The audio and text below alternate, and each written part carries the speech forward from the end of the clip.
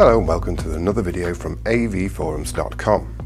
This time we're going to be looking at the pitch settings we obtained when calibrating the review sample of the Panasonic TX58 DX700 4K HDR TV. Now we'll be taking you through three setups briefly. The first of all is the probably the most crucial, which is the standard dynamic range nighttime setup.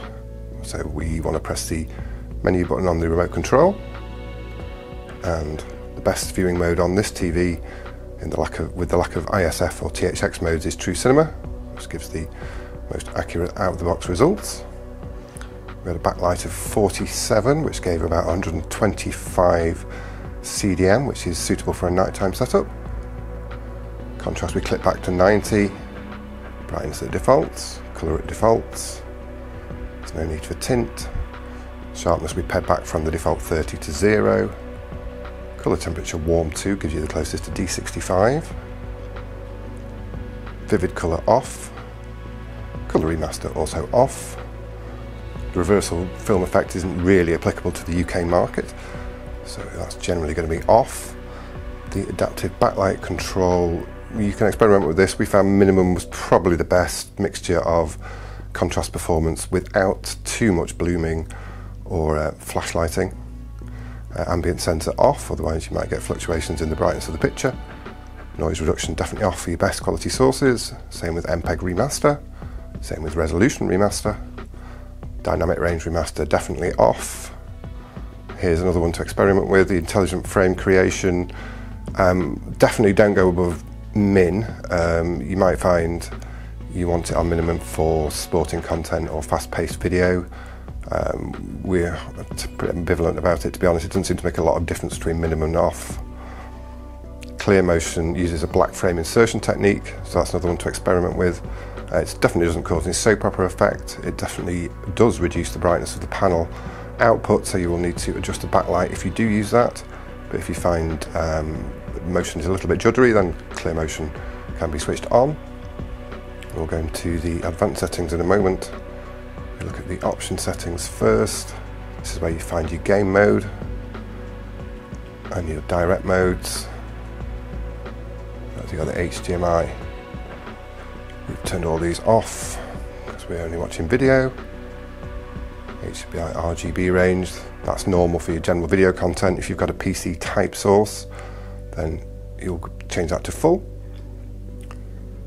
Uh, the screen settings, now we definitely want overscan off.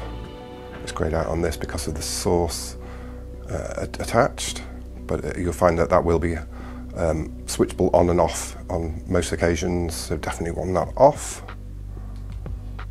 And that's to copy this adjustment to all the other inputs or your choice of inputs. I will head into the advanced settings next. This is where we have our white balance, gamma and color management controls. Contrast control, we'll have that off definitely for standard dynamic range. Color gamut for everything but Ultra HD Blu-ray, you really want that on Rec 709. And this is where the white balance settings are. Now the DX700 was pretty accurate out of the box, so just a little bit of tweaking needed here as you can see. You might want to get the pause button and your pen and paper ready because we're going to go through the 10 point adjustments very quickly. And we'll start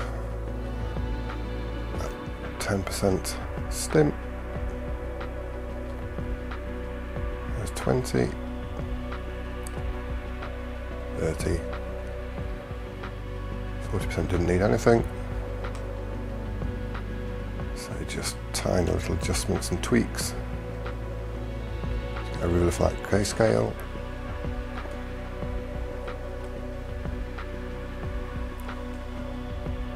90 and right up to full white. Okay, next we'll be going into the color management system. Again, very minor tweaks needed here to bring everything into line because it was very accurate out of the box. Any big adjustments here affected the whole gamut negatively. We didn't even have to touch the secondaries. Gamma we had at 2.3, which gave us a nice 2.35 response, which was great for this TV and a dark environment.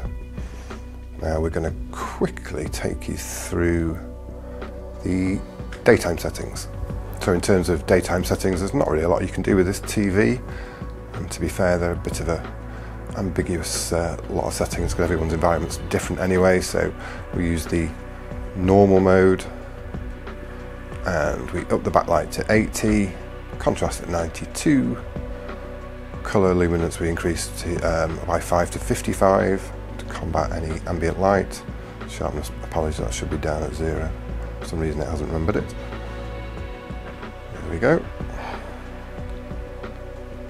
Uh, colour temperature warm 2, again there's, there's no reason not to choose D65 as the best option. The vivid colour, colour remaster, all these as per the nighttime settings. Adaptive backlight control on minimum. All these extra processing options off, or at least with the motion, maybe min. And there are no advanced settings here. Again, the same option settings as we've just seen, and the same screen settings we've just seen. So then we're going to be taking a look at the HDR setup, which um, we'll just need to flip our meter into HDR mode for, just back in a second. Okay, if we press the info button on the Panasonic remote, we can see we're now in HDR mode. Uh, now, one thing before probably get started is to make sure you can accept an HDR signal. You have to go into the setup menu and then into HDMI HDR setting and have whichever input you want, or both HDMI 1 or HDMI 2, able to accept the HDR signal. We're in HDMI 1, obviously.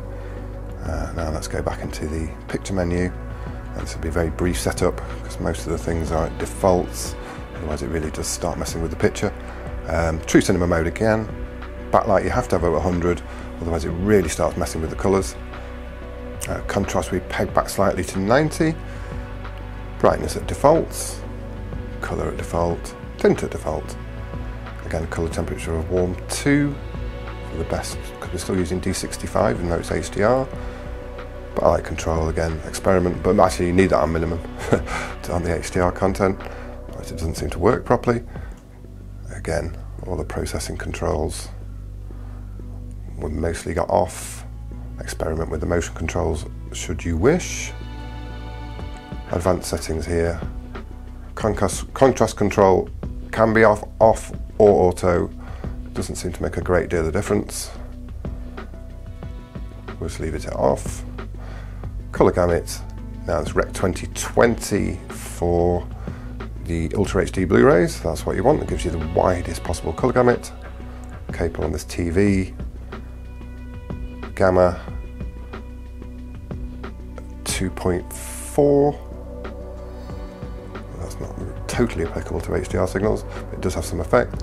And we quickly just tidied up the white balance because we had a lot of excess blue and green energy towards white. Uh, color management we didn't touch. And the option settings go, so again where you found your game mode. Screen settings, 16.9 overscan off screen display on. And again, should you want to copy any adjustments across to other inputs, well, HDMI 2 in this case, that's the one you want.